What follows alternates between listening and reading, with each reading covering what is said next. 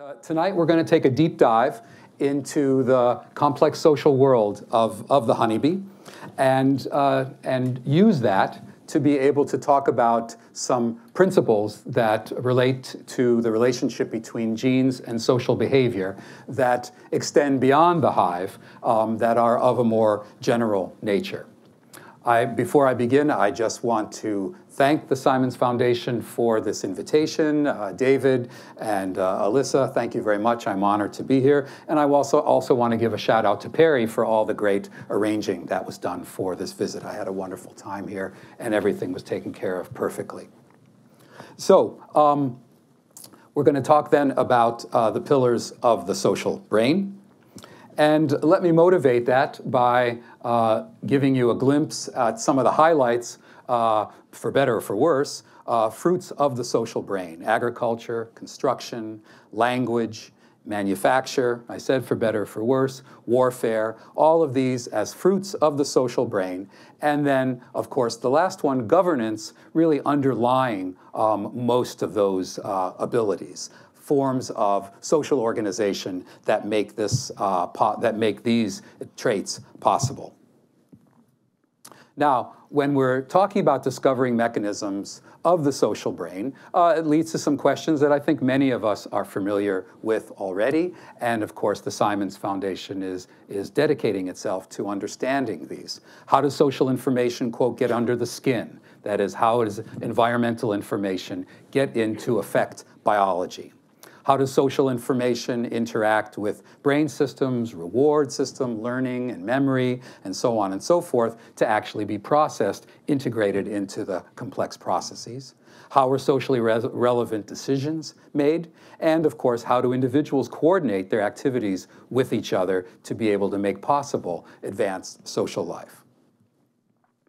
It's also possible to look at the social brain, the endeavors that, that we mount to be able to understand the social brain and be mindful of the broader impacts. Of course, understanding the social brain helps us understand brains in general. It contributes to our understanding of health and wellness. It perhaps can help us predict both pre-social and anti-social behavior. And uh, as information, especially tonight, uh, will allow us to be able to make and communicate the genomic case against genetic determinism. So I'll be talking a little bit about that at the end of the talk, but I want to plant that seed for you uh, now. So when we think about the mechanisms of the social brain, um, it's quite obvious that one can address questions at different levels of biological organization, going from DNA all the way up to behavior, um, with many levels of organization um, within the brain.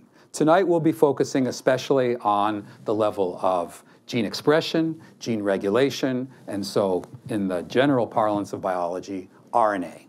A little bit about DNA and a few words in comparison about some of these higher levels, but that's the focus of the experimental work that I'll be discussing tonight. Now, I'll be talking about it not uh, from the point of view of humans, but of course from the point of view of honeybees. Um, and uh, uh, as, as you heard Alyssa say, I do believe that uh, honeybees and other social insects uh, can be exemplars for this because I put the same traits up there for you and to say that uh, humans do not have a franchise on them. Now, yes, if you're paying attention, you will see I had to put together a few species uh, to be able to make the same point, so I'll give you that. But hopefully you'll give me the fact that we're talking about brains that have a million or fewer neurons, some the size of grass seeds or smaller, and still, still producing these kinds of complex traits, uh, positioning them well to be uh, exemplars and models for these studies. I'll also say that our model genetic systems, um, fruit flies, mice, C. elegans, have more modest social lives than the social insects, and so making it imperative that we do choose uh, models that have the kind of level of, of sociality that we aspire to understand. As I've said, uh, we'll be focusing on honeybees, so I want to give you just a quick introduction to some of the key features um, that commend honeybees for these studies. Uh, first of all, uh, bees are large enough that we can study them as individuals. We use uh, barcodes uh, for that, as the picture on, the, on your left uh, indicates. So we can do automated monitoring of individually identifiable bees. It's also possible to manipulate the social behavior of honeybees. Uh, we stand on the shoulders of centuries, thousands and thousands of years actually, of beekeepers who have observed honeybees. Why? Because honeybees have produced the first sweetener known to humankind, and if that isn't enough, the first alcoholic beverage that was produced. And so, as a result, people have been very interested in watching honeybees and trying to get them to do what they want done. And so that gives us a lot of information as bee scientists we're able to, to use. Secondly, division of labor, a hallmark of all advanced societies, uh, creates extreme behavioral states. So this little uh, picture that you see right up on the top right depicts fancifully uh, a bee working in the hive and then a bee foraging. So that's the basic division of labor between the workers in these insect societies. And it basically goes like this in honeybees. Honey, adult honeybees live about six weeks. They spend the first two to three weeks working in the hive. Then they grad at a, a series of jobs, and then they graduate and become foragers. They're either doing foraging activities or they're defending the hive for the rest of their life. Those states are expanded. They're extreme. They're not just a few minutes of fleeting uh, activity that they go on to the next. This allows us, especially if we're working at the RNA level, this allows us to be able to have a fix on a particular behavioral state and measure gene expression associated with it. Why do I belabor this point? Changes in gene expression are slow relative to changes at uh, higher levels of brain organization, circuit levels, neurophysiology, and so forth. Point I will be coming back to later. And so having these extreme behavioral states uh, gives us uh, a bigger target, if, if you will. Social environment, number three, the social environment can be precisely controlled. The picture that you see on the right, for those of you that have never had the pleasure of seeing these before, those tall white boxes, each stack is a beehive. It's a family. It's composed of between 40 to 60,000 individuals. In the case of honeybees, a single queen. All the individuals there are part of the same family. They work in an integrated way. And so we are then able uh, to make manipulations and do social engineering on a, on a grand scale. Uh, fourth, neurobiological and genomic resources are uh, available, becoming more and more available. They're not as advanced as in the uh, model genetic systems that I mentioned before, but they're coming on board. And the laboratory of Daniel Kronauer is really leading the way in the development of genomic, functional genomic resources at, at Rockefeller University uh, to manipulate uh, the kinds of hypotheses that are generated with descriptive uh, discovery genomics. But the resources are coming available more and more species. And then finally, just kind of a statement about complex social life. Genetics influences behavioral predispositions, and then social interactions uh, influence the adaptability, the flexibility that one sees. That's a truism of any society. We could say that for humans, we can say that for ants, we can say that for for bees. So um, another introductory point that I want to make is that uh, another reason for working at the level that we're working at is that comparative genomics is easier than comparative neurobiology. With genomics, we have a tool that can be summarized as a statistical test of the similarity of sequences. For those of you cognoscenting the audience, you know I'm talking about BLAST we can ask whether the sequence in one species, however distantly related it is from another species, we can ask if those sequences are so similar that we can call them cousins or orthologs. That is a huge amount of insight that that gives us. By contrast, in the more traditional areas of neuroscience, we don't even know how many times brains have evolved. There are interesting theories on multiple evolutions, single evolution, and so forth. Making it very difficult to do comparative neurobiology across the spans of evolution that we need to be able to derive general principles. So, tonight we'll be talking about three genomic pillars of the social brain, the three C's, close relationship, a causal relationship, and an evolutionarily conserved relationship. For each case, I'll summarize some results from one to two to three studies to give you a feel uh, for that, enough data, hopefully that you can sink your teeth in, but not so much that I won't be able to finish all three C's. So on to the first one, a close relationship. This is really what started it all um, for the field of behavioral genomics, this discovery uh, that we made in my lab about 20 years ago, that brain gene expression and, uh, and behavioral states are closely related. And I'll talk about that from the point of view of socially regulated behavioral maturation, and then extend that to a more recent study uh, talking about changes from cooperation to selfishness um, in another behavioral context in honeybees. Socially regulated behavioral maturation is another way of talking about the division of labor system. That's that picture on the lower left. Um, so I mentioned the basic division of labor. What I didn't mention yet, and I'm about to right now, is that there's great flexibility. So yes, bees spend the first two and a half to three weeks working in the hive foraging, unless there's a need to speed up their maturation. Suppose the foraging force is lost um, due to uh, predators or a sudden storm catching all the foragers outside, or in more modern terms, pesticides. Younger bees are able to speed up their rate of behavioral maturation, become precocious foragers.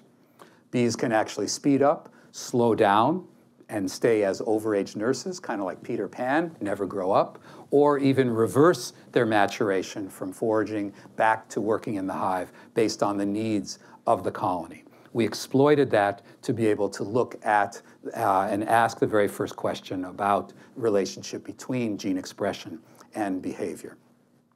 Then the second behavioral context um, shows that really sinister looking bee there. Um, what happened here is a honeybee colony is mostly sweetness and light, mostly living harmoniously, but if the queen is lost and the worker bees are not able to rear a replacement queen from the babies in the hive, the, long, the young larvae, then what happens is some of them develop ovaries and they, they, have rudimentary ovaries, but they're usually inhibited by the queen and the other aspects of the social structure. Once they develop ovaries, some of them change their approach to life and they now engage in much less cooperative behavior and more selfish behavior, um, laying eggs. So we exploited that um, in a way that I'll show you in a moment. But first, the first one. So these were the first two studies. Um, just for you who are historically oriented, the first uh, um, general technology for measuring the expression of many genes at the same time, called the microarray, was developed in Pat Brown's lab, Joe DeRisi's PhD. Um, it was published in 1997. Um, we developed uh, the ability to use that approach to be able to ask the question um, that we're talking about now. Individual, a few individual genes had been found to be socially regulated, but we had no idea the scale of, of that. And um, so we did this experiment um, to compare nurses and foragers and to uncouple age from behavior in the ways that I just mentioned before, looking at overage nurses, looking at precocious foragers. And we were just shocked to see that 40% of the genes in the brain uh, show differential expression in the nurse state versus the forager state. This is just simply a heat map showing genes downregulated or upregulated. I just am giving you the pattern. Don't look for any um, hidden meaning in specific genes. So that was work that was led by former postdoc Charlie Whitfield, who was on the faculty the, at the University of Illinois and retired just a couple years ago. Um, he took early retirement. I'm not that old. Maybe I am, but anyways, well, that's another story. Second study done by former postdoc Christina Grozinger, um, who's now on the faculty at Penn State, uh, took advantage of one of these social factors that regulates how fast bees grow up, queen pheromone. Queen pheromone delays behavioral maturation, and uh, uh, Christina found that it behaves exactly as we would expect if there is this close relationship. That is, it, for genes that are upregulated in foragers, the QMP, queen mandibular pheromone, downregulates them. And for genes that are upregulated in nurses, in the brains of nurses, QMP upregulates that. So giving us um, a feeling that there's this uh, close relationship. Secondly, um, the selfish and altruistic behavior study. Uh, this is the work of Beryl Jones, who just finished a postdoc at uh, Princeton and now is starting her lab at the University of Kentucky. So um, the, uh, the, what happened here was uh, in order to sample the bees that were altruistic, that is those that continue to work for the hive, and those that switch to selfishness, uh, she used, Beryl used our barcode system, and we got a lot of data, and that allowed us to see this really interesting group that I highlighted for you called both. So most bees specialized. They were altruistic, continued to forage, to continue to defend the nest. Their ovaries were inhibited, and they continued to work for the good of the hive. Other bees had developed ovaries, activated ovaries, and they stopped doing those jobs and started mostly egg laying. But a small group of bees uh, did both. And so we took advantage of that to see how far we could push this close relationship. And uh, Beryl's data are really quite interesting in that regard. So push, I mean gene expression, but then also extend to gene regulation.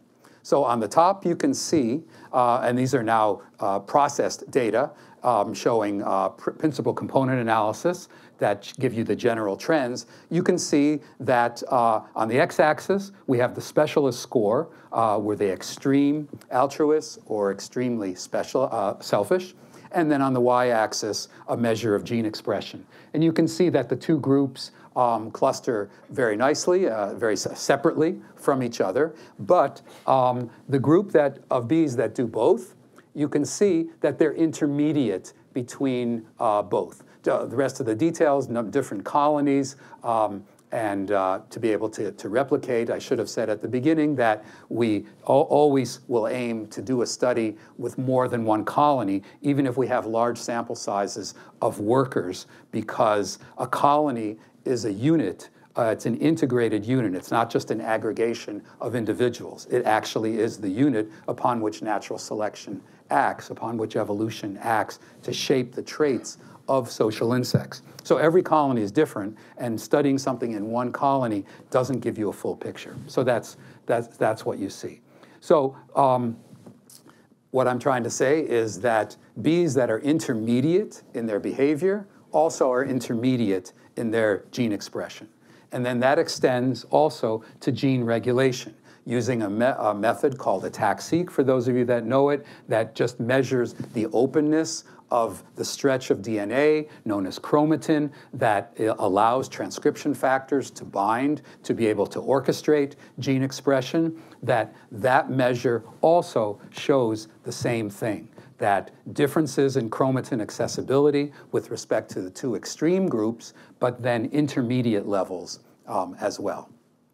And uh, I, I, also wanted to make the point that while we're focusing tonight largely on patterns um, to be able to, to share with you ideas on pillars, uh, also we do this work to try to get ideas about specific genes that can be followed up. And uh, we have identified a set of transcription factors that I'll mostly just be mentioning in passing that keep coming up repeatedly in studies. And uh, we have some causal information uh, about them, and they seem to be of particular importance in orchestrating gene regulatory networks associated with sociality.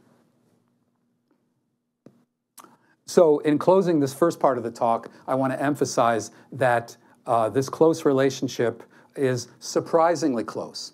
And that's again going back to this schematic, neuroplasticity. There are levels of neuroplasticity that are more proximal to behavior. Who knew that when you go further away, you will see this close relationship? The model that we worked under before behavioral animal behavioral genomics started was a model that came to us from the field of learning and memory, where, um, of course, changes in gene expression were, were well established, but they were mostly on the order of producing parts for the factory.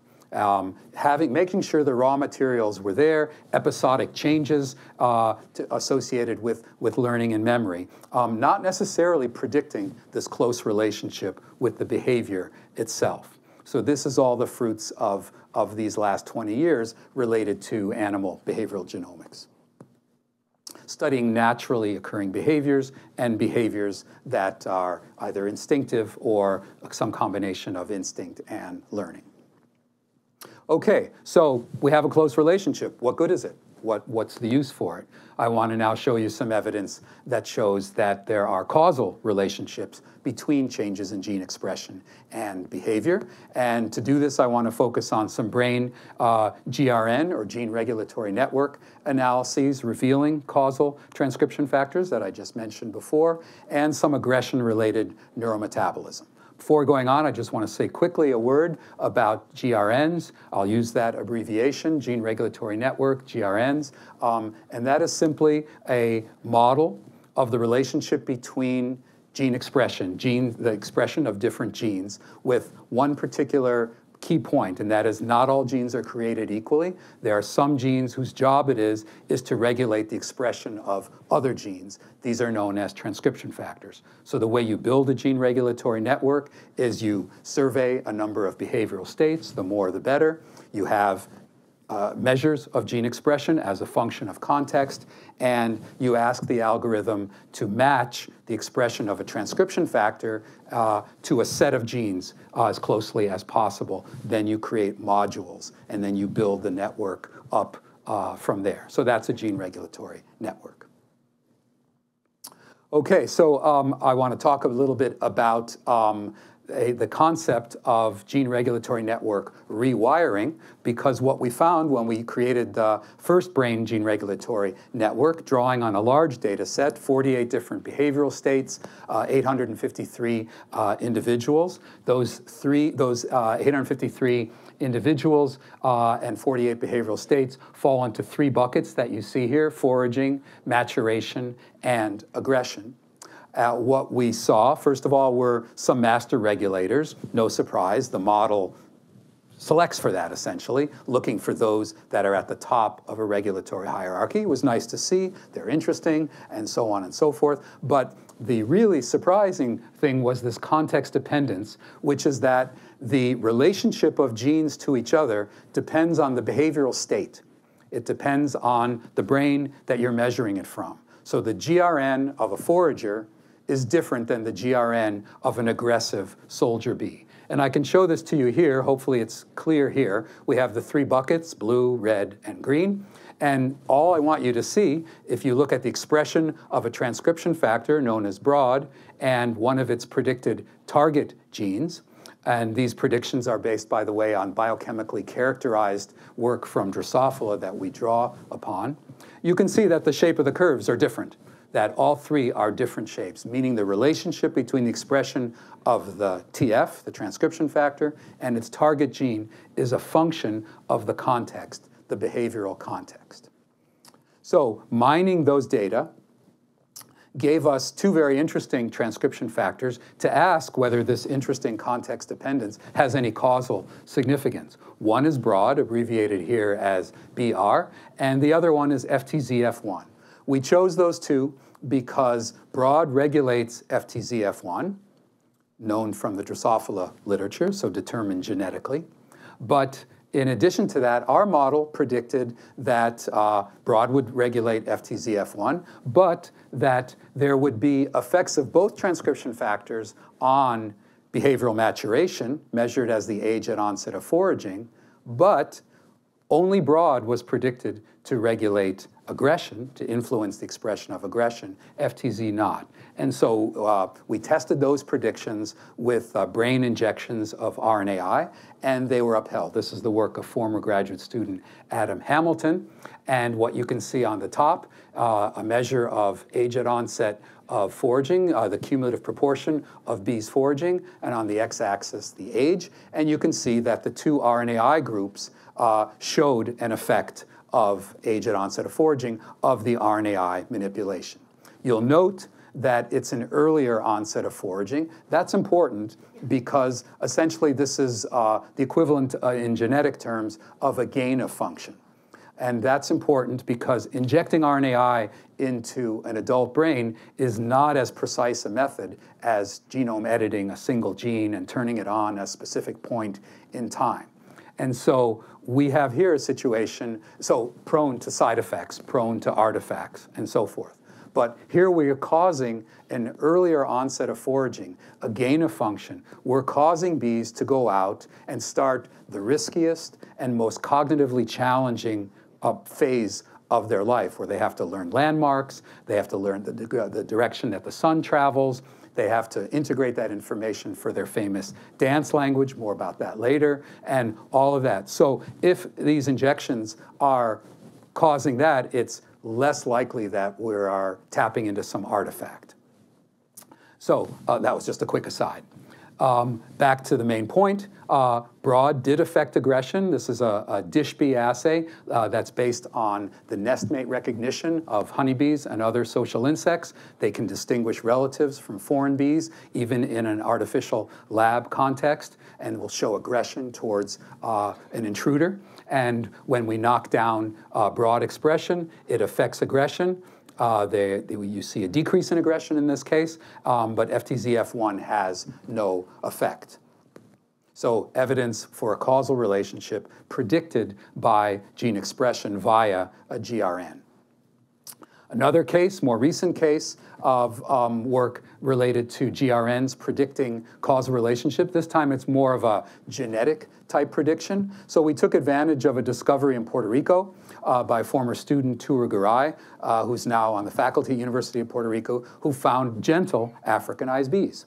So as you know, Africanized bees spread through the Western Hemisphere, uh, much more aggressive uh, than uh, the European-derived subspecies of honeybees. But uh, when they arrived in Puerto Rico, about 10 years later, uh, it turns out that they have become gentle.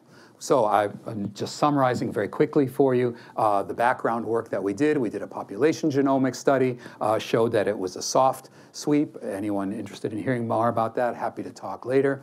Uh, we did a behavioral genetics uh, study, a, a, GWAS study, to find single nucleotide polymorphism, SNPs, uh, associated with differences in aggression. Interestingly, found them for the colony phenotype rather than the individual phenotype. And then um, a study that I'm going to tell you just a little bit more about um, we found uh, some evidence that when we look at the regulatory genomics, look at gene regulatory networks at the single cell level, we are able to go from genotype to phenotype. That is, we are able to ask the question, how do some of those SNPs that are associated with the loss of aggression, what do they do in the bee?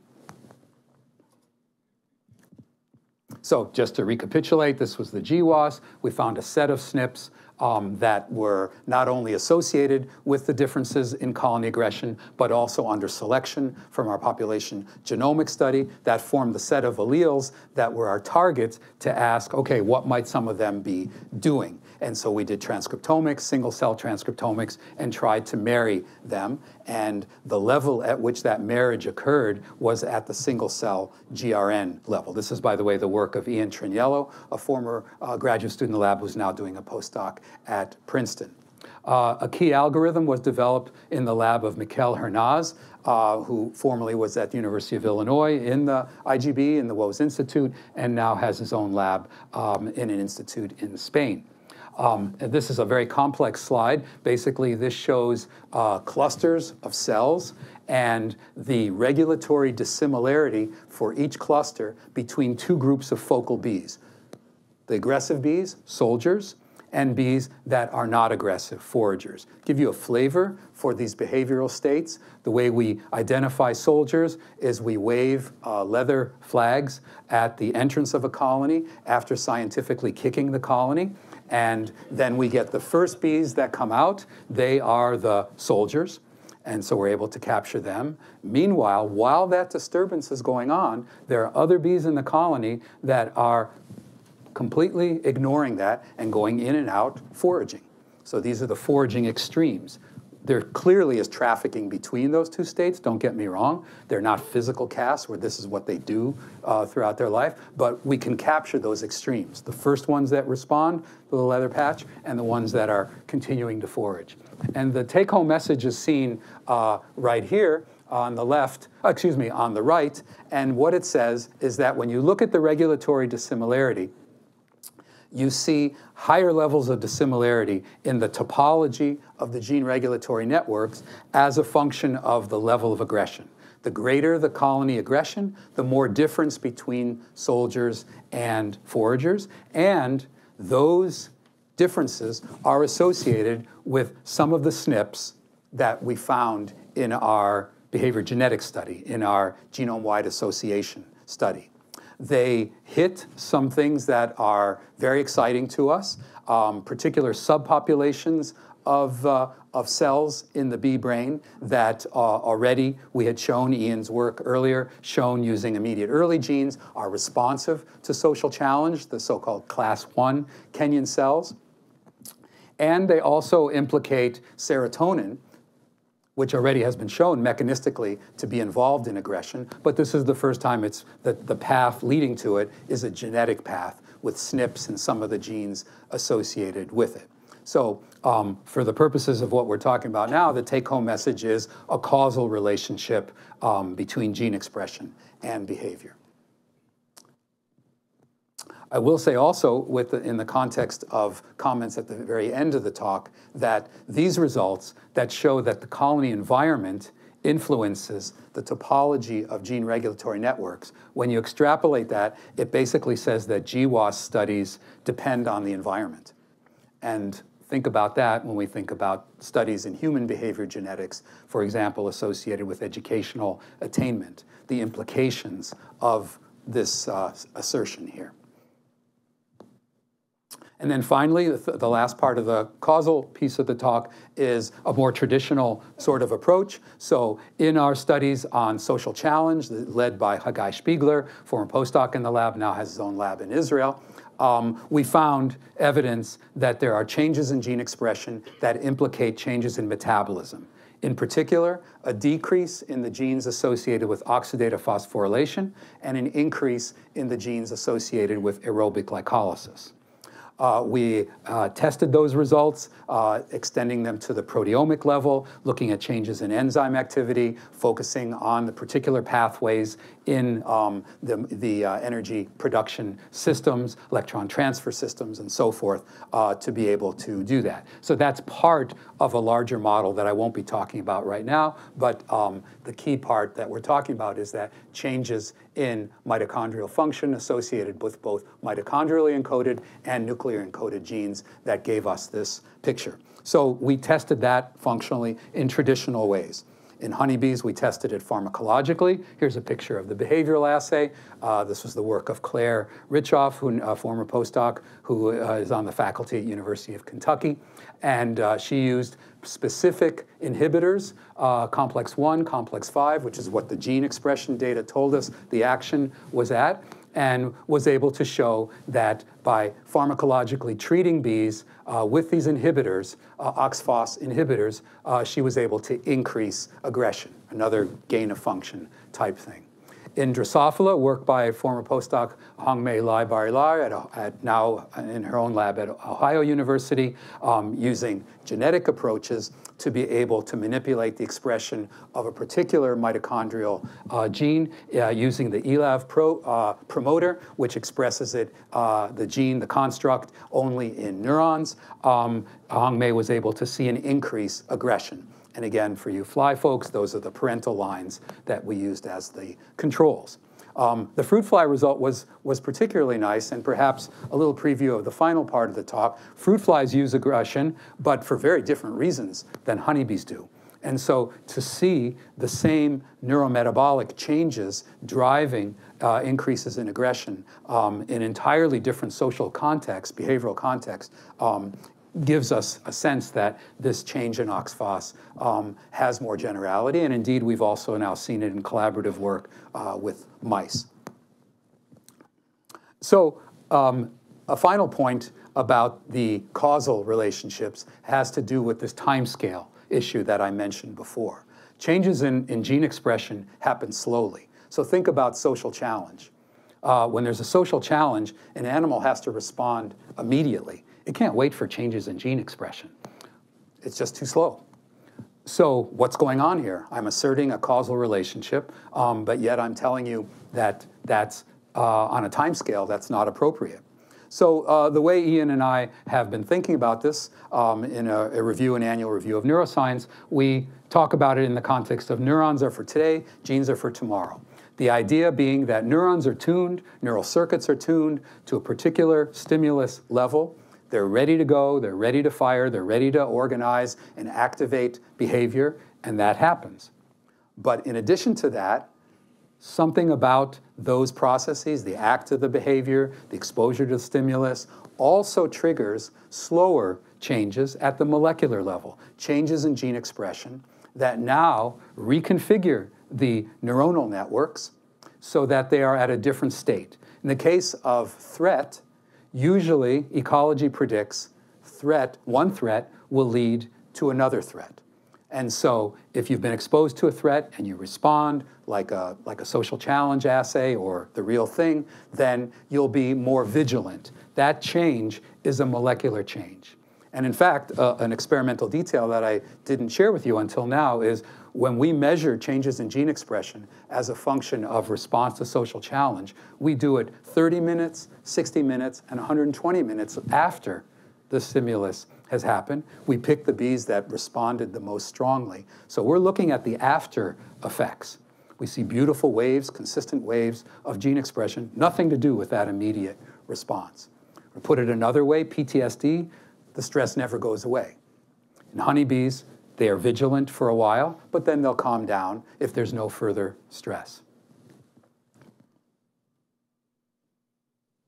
So when we think about it that way, it gives us the explanatory framework and the beginnings of a conceptual framework to be able to assert that what we need to do now in neuroscience is integrate neuronal networks and gene regulatory networks. And we now have the tools to do that because of the single cell revolution, to be able to take neuronal networks and then elucidate the gene regulatory networks inside those neurons and then develop a formalism to understand the integration of activity at the neuronal level and activity at the GRN level. I personally think this is a very important area. We have right now a situation where these two parts of neuroscience don't talk to each other as much as they should, certainly from a point of view of, of conceptual uh, integration. So this is a, a diagram here that just basically highlights the ways uh, just the GRNs and the neural networks, and as if that's not complicated enough, developmental um, GRNs, so how the brain is wired up also uh, can be modeled using GRNs. So it's very fortuitous that we have the technical resources and we have this network concept working really well in neuroscience, neuronal networks, working really well in behavioral genomics, the GRN, and working really well in developmental biology, um, developmental gene regulatory networks. So the stage is set for, I think, a really important uh, integration. Okay, the third and final uh, C uh, pillar that we're going to talk about tonight is evolutionary conservation. It's a special pleasure to be able to talk about this work tonight here because the work was funded by the Simons Foundation and especially uh, Jerry Fischbach when he was active. So a shout out to Jerry. I know he couldn't be here tonight. He promised to watch the uh, recording of it. And uh, we really appreciate uh, the confidence that he showed us for an idea that at its time, about uh, 12 years ago, was really untested. And so what we're going to talk about then is the idea that similar social behaviors in distantly related species rely on common genetic toolkits. In some cases, derived, we can see sort of the derivation from solitary behaviors. And so I'll talk first about that uh, me to we uh, kind of thing in the context of dance communication and then more generally, genetic toolkits across a broader span of evolution, talking about social responsiveness. So um, for dance communication, uh, let me motivate this by saying that when flies find good food, they eat more. When honeybees find good food, that is a good, rich nectar source out in the environment, they don't eat more, they come back to the hive and they dance more. They use a communication system that uh, uh, allows them to communicate distance, direction, and quality. For those of you that have never had the pleasure of seeing it in action, this is what it looks like.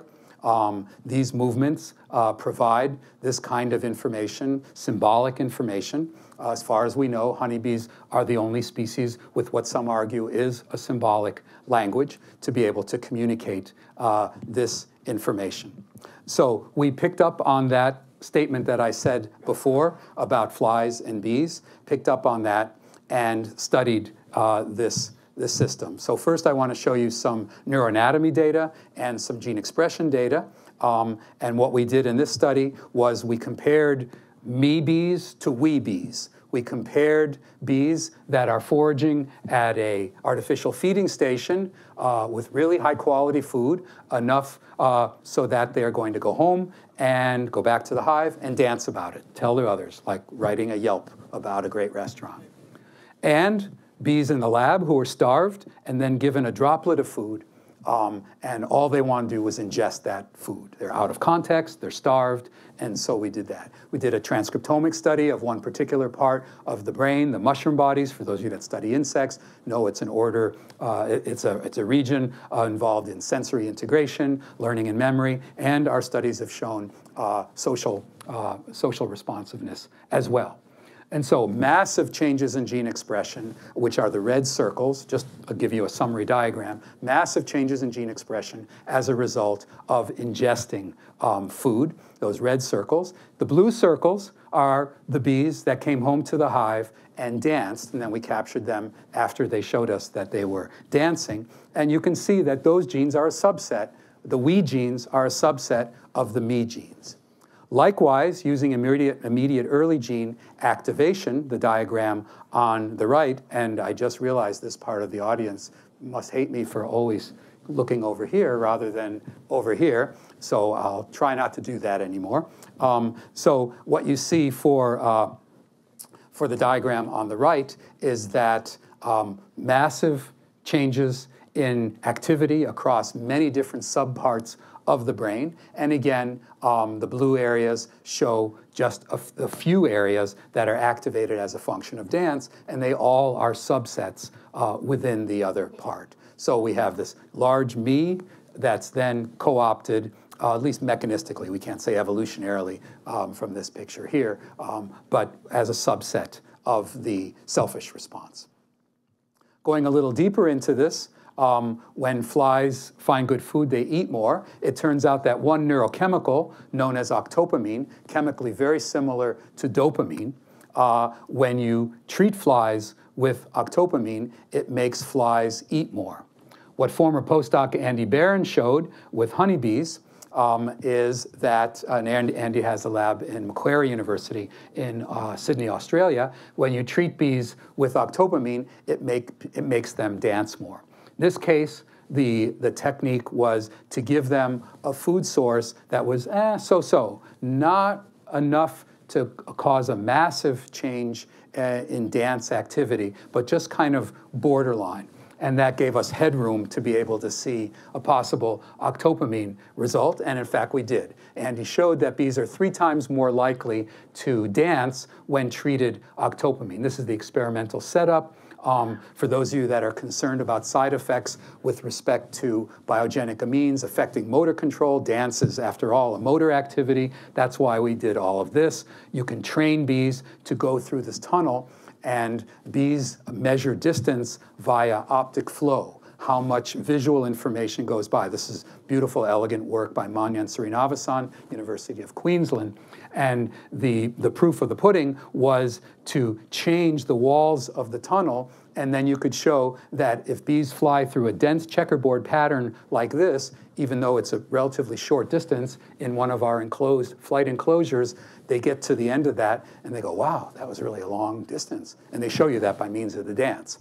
Whereas same bees, same distance, changing the checkerboard pattern to be very sparse, they get to the end of that and say, ah, piece of cake, just a short distance.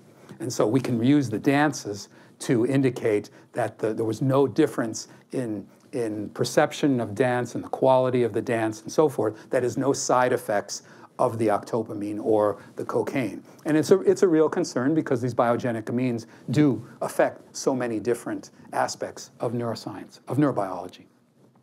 So, um, so that's the main point. Um, but there's also that little thing about cocaine there. You're wondering why we have that. Um, so uh, cocaine biochemically is characterized as an octopamine reuptake inhibitor. It exists in nature as an insecticide. So if you understand that, using cocaine is a trivial add-on. Why, why bother? The reason why we bothered is because we want to argue that this shows that the reward system of the insect brain, of the honeybee brain, has been co-opted to be able to give the bee pleasure when it's doing a group activity. That's a big leap, especially in the context of the fact that the reward system in any insect, including Drosophila, is nowhere near as elucid, well elucidated as uh, the vertebrate reward system. So we thought we'll take a baby step in that direction and ask whether cocaine, biochemically predicted to have this effect, does have the effect, because as we all know in biology, stranger things have happened. So we did that, and we were pleased uh, to see that, and moreover that the octopamine blocker also blocks the cocaine effect. So we see um, some me to we kinds of social evolutionary sorts of things, conserved mechanisms that moved in that direction. And then um, the last uh, experimental work is to talk about uh, the work that was funded by the Simons Foundation and asked the question, are behaviors that look similar on the outside built from similar components on the inside? This is the team that my lab is privileged to work with at the uh, Institute. Um, we have uh, Allison Bell, neurogenomics of stickleback fish, Julian Catchen, uh, bioinformatician, Heesun Han, uh, who's developing spatial uh, transcriptomics methods, uh, Saurabh Sinha, computational genomicist, Lisa Stubbs, who is a um, mouse neurogeneticist, and uh, Dave Zhao, a statistical genomicist. We worked with the three species. We looked at social challenge, social opportunity. We published a, a nice um, set of papers saying that the answer to the question uh, here is yes. In the course of those experiments, Hagai Shpigler uh, noticed that some bees are non-responders. So the experiments were done for social challenge, for social opportunity, um, and done in two separate years. And in, in all of those experiments, there were some bees that didn't respond.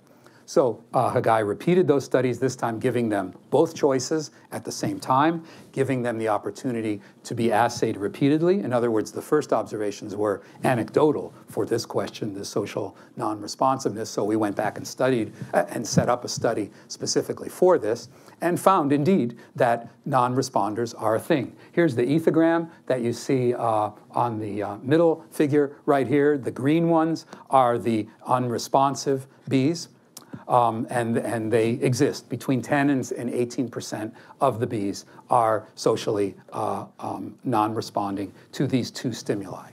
Uh, the panel on the right shows a principal component analysis of brain transcriptomics that basically makes the point that unresponsive bees are a thing. That is, they cluster separately from the bees that respond preferentially to the social challenge, social, so, so-called guards, and those that respond preferentially to the social opportunity, nurse bees. I didn't mention what the social opportunity assay is. It is to give a queen larva. And since workers generally don't reproduce themselves, to have the opportunity to rear a sister as a queen is as good as it gets under normal uh, conditions. So armed with that information, we now had a set of genes that were distinguishing, characterizing the socially unresponsive bees, and we asked whether there's statistical overlap with genes that have been implicated in autism. The large data set came from the Simons Foundation, the SFARI GSM database, and then there was a second data set coming from postmortem gene expression. So the first database was DNA, and the second one was RNA, but they both uh, implicate genes. On what you see is that the yellow rows highlight statistically significant overlap with the socially unresponsive genes from honeybees. We were pleased, especially with the uh, SFARI data set, to see that the tier one, tier two, and three genes, and I imagine we have some experts from the Simons Foundation from this project right here in the audience, so we could talk about this further, but that the higher confidence genes were the ones that showed uh, the overlap. Uh, some of the key categories were related to synapse function. Some syntaxins, some neuroligins um, were, were implicated. Ian Traniello has uh, continued this work as the last part of his postdoc, of his graduate uh, uh, work before he moved on uh, to his postdoc. we did a GWAS, genome-wide association study, um, using a change in the behavioral assay, um, and this time again taking advantage of the um, high throughput behavioral system, we switched from the lab assay of those two stimuli to an assay involving touching and exchanging fluids with another member of the colony. This is known as trophallaxis. It's sort of the social glue in many insect societies, the equivalent of grooming in primates. And uh, first, we were pleased to see that uh, bees that are classified as non-responders in the uh, lab assay were actually also on the fringe of the social network. You have just a typical uh, hairball uh, figure there showing um, this, and the non-responders, the black circles, were those that were least connected. So some nice congruence that then allowed us to, and that was a, that's a quantitative behavior uh, rather than um, the qualitative one from the lab assay that allowed us to do a GWAS implicating neuroligin 2 as a key um, gene, that uh, candidate gene involved in this. And uh, just a couple of tidbits that I want to highlight. Um, the, some of the uh, results really hint at, at genotype by environment interactions. If you look at R2, the uh, genotype that's displayed both, and you look at the x-axis, the level of sociability, you can see that R2's performance depends on who it's coupled with. R stands for a different genotype, a set of bees that have queen mom and a single father, um, so genetically more homogeneous uh, group. And you can see that the uh, sociability of the R2 genotype depends on what other genotype it was coupled with. An example, by the way, of the kind of social engineering that we can do with, uh, with honeybees. Okay, in wrapping up, um, let me harken back to the, uh, to the social unresponsiveness results and the implication that there's a connection there to autism. Let me be very clear. We're not saying that bees are little humans or humans are big bees. Autism is a very complex um, phenomenon, uh, condition. It's associated with a variety of phenotypes, not trying to be glib at all about this. Um, what instead we're saying, and genomics gives us the ability to do this, is looking at building blocks of behavior. So from the evolutionary perspective, it's, uh, I think, a relatively simple point to make. The last common ancestor of the lineages leading to social insects and the lineages leading to ourselves um, is thought to be a marine flatworm living some 600 million years ago, and uh, um, a very rudimentary nervous system, no brain to speak of, no known social life, and yet here we see these uh, results in bees and humans. What do we make of that? Um, one assertion that we can make is that these were independently evolved uh, societies and that nature has used and reused the same building blocks repeatedly in different contexts. This gets us away from having to talk at the level of the behavior of how similar it is, how different it is. And for those of you that remember, this was the debate that occurred as a result of E.O. Wilson's 1975 sociobiology, which, in fairness, there were no tools to be able to do anything other than compare at the behavioral level. We now have those tools. They're fueled by this very similar, simple algorithm called BLAST to be able to talk about same genes in different contexts. And finally, let's be careful. Here's the genomic case against genetic determinism, and this is a summary of the talk. There are common genetic toolkits for social behavior in animals and humans, giving us license to talk about this in this way. Genes that influencing behavior operate within gene regulatory networks that respond flexibly, contextually, stochastically, rather than deterministically. The molecular wiring of the brain is altered by the environment and heredity.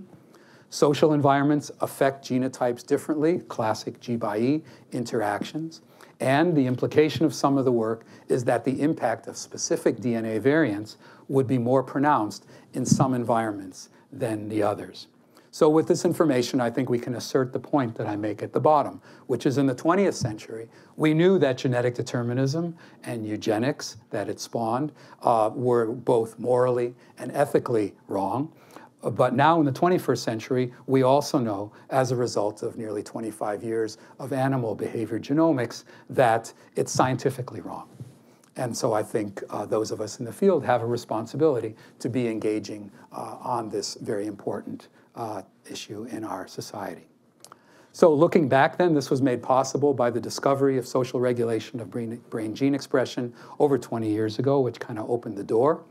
Looking forward, I think it'd be important to elucidate principles of me-to-we genetic toolkits, why certain genes are used uh, in different contexts in this way.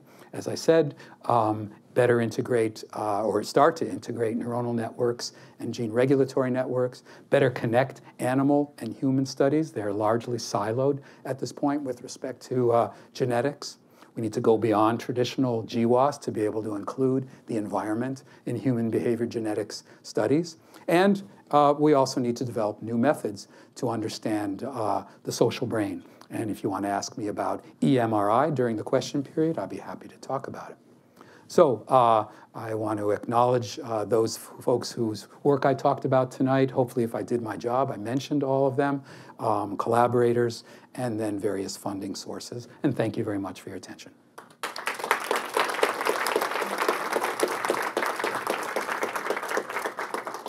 Happy to take questions.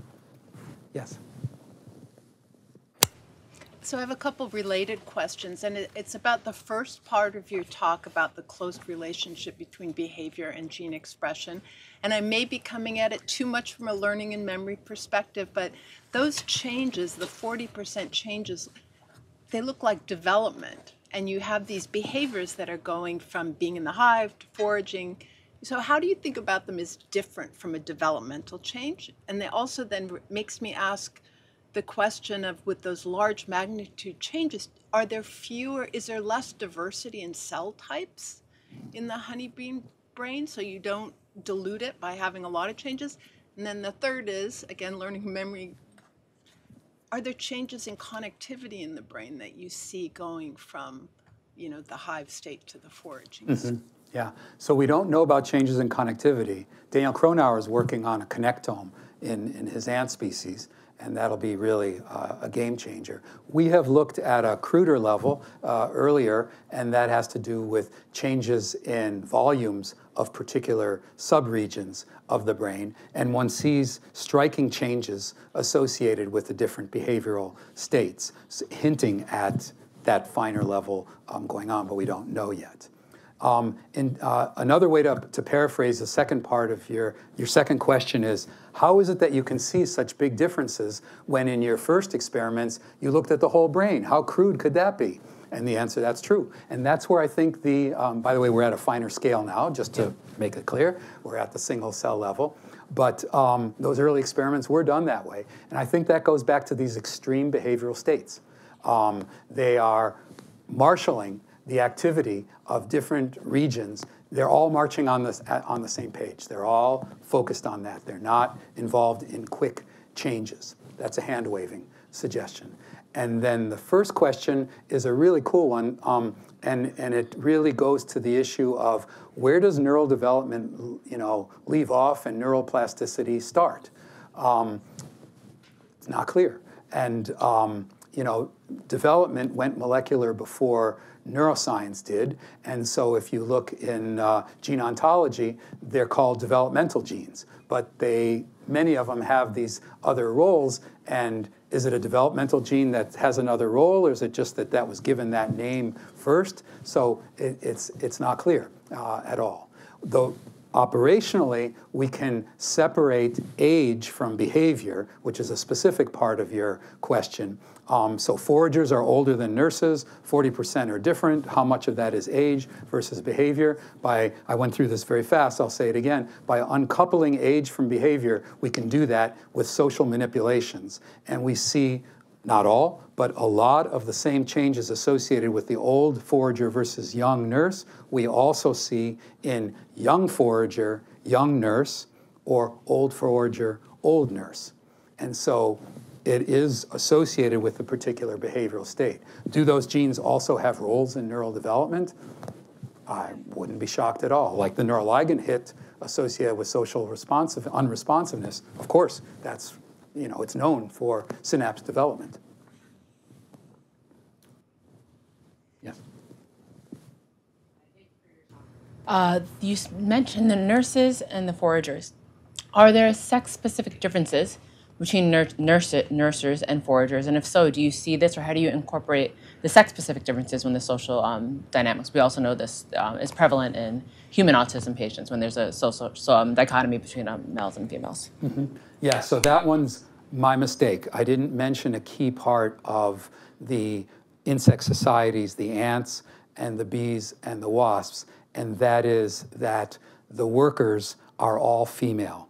So the queen is female and the workers are female. There are males in most of these insect societies, but their only known function is to mate with the virgin queens. They don't, they're not involved in the social activities. So sorry about that.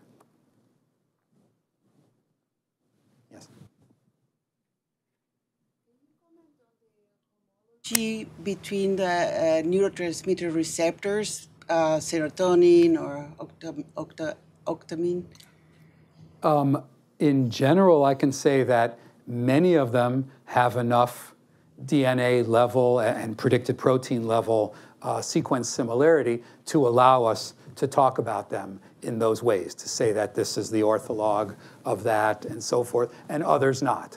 So it's, it's a mixed bag. So in some cases, one can say this is clearly an ortholog, and in other cases, one can say it's in the family, but not clear. Because as you know, I think you know receptors diversify a lot, and so even within vertebrates, there isn't sometimes a simple way of looking at that. But in some cases, we can. Yeah. It, it is curious that serotonin is involved in aggression in, in mammals, mm-hmm. and that you also see that. So think of convergent evolution using the same neurotransmitter and the same yeah. receptors is quite something.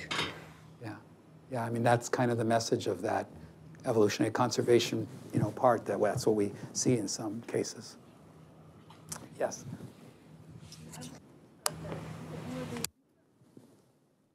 Uh, genes that you were tracking in terms of the behavioral responses of aggression versus maybe I missed this. Which kind of genes? Nuclear what? Nuclear hormone receptors. Yeah. Uh huh. Yeah. Yep. Some some were identified that way. Yes. You, so exactly. I was wondering if uh, what's your thought on sort of the network of their ligands and how they're responding.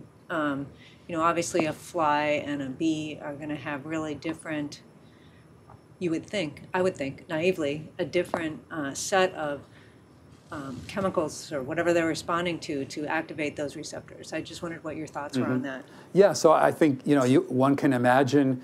Uh, did everyone hear that question over on this side about nuclear hormone receptors?